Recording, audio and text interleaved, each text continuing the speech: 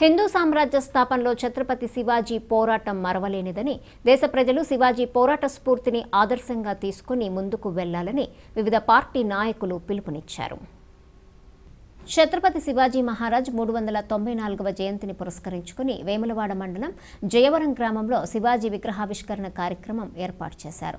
ఈ కార్యక్రమానికి వ్యవసాయ మార్కెట్ కమిటీ చైర్మన్ గడ్డం హనుమాన్లు బీజేపీ జిల్లా అధ్యక్షుడు ప్రతాప రామకృష్ణ టీఆర్ఎస్ నాయకుడు ఏనుగు మనోహర్ రెడ్డి బీజేపీ నాయకుడు ఎర్రం మహేష్ తదితరులు హాజరయ్యారు. ఉత్సవం సందర్భంగా విచ్చేసినటువంటి కుల బాంధవులకు అందరికీ నమస్కారం.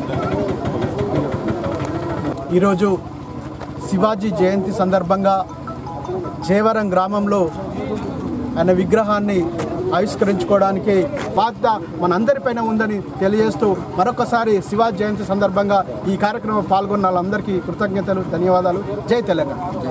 సంఖ్యలకు బానిసత్వానికి వ్యతిరేకంగా శివాజీ మహారాజ్ చేసిన పోరాటం ఏదైతున్నదో నూట ముప్పై ఐదు మంది కోట్ల భారతీయులకు ఒక ఒక ఉత్సాహాన్ని కలిగిస్తాం మరి అటువంటి ఈ హిందూ సంస్కృతి మీద జరిగే దాడిని మనందరం కూడా ఖండించడానికి కోరుతూ మరొకసారి ఈ విగ్రహావిష్కరణ చేసిన ఈ జయవరం గ్రామస్తులకు ప్రత్యేకంగా కూడా ధన్యవాదాలు తెలియజేస్తా ఉన్నాం.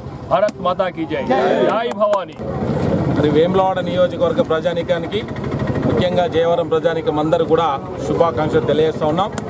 నిజంగా చాలా సంతోషం. ఈ దేశవ్యాప్తంగా హిందూ సిటీస్లకు ముఖ్యంగా ఈ గ్రామానికి సంబంధించినటువంటి ప్రజలందరూ కూడా మరొకసారి శివాజీ జయంతోత్సవ సందర్భంగా శుభాకాంక్షలు తెలియజేస్తా ఉన్నాం.